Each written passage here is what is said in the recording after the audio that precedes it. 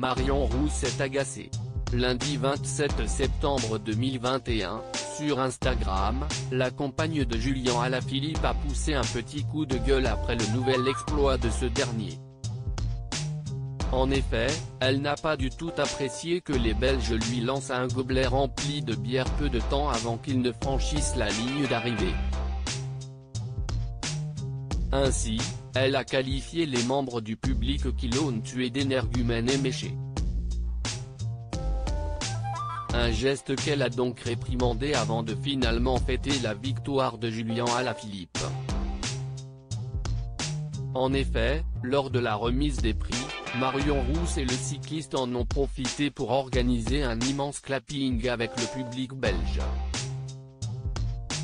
Un moment de solidarité qui a finalement réussi à faire oublier la petite boulette du début.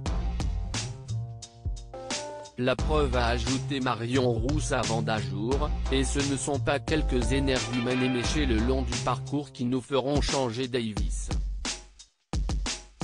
Julien Alaphilippe toujours soutenu par sa compagne Marion Rousse pour rappel, si est le dimanche 26 septembre 2021 que Julien Alaphilippe a de nouveau créé l'exploit? Lors des championnats organisés en Belgique, le coureur a en effet gagné une nouvelle fois, à Louvain. Seul devant le peloton, le coureur de la Deceuninck Quick Step a largement dominé la course.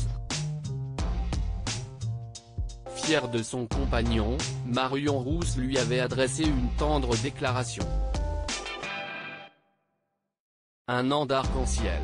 Du bon, du moins bon mais toujours avec le cœur arc-en-ciel.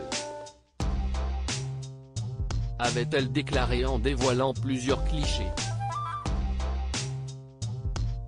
Une chose est sûre, la famille est toujours soudée. Marion Rousse et leur fils Nino sont en effet toujours présents pour soutenir Julien Alaphilippe et CIST ce qui fait sa force.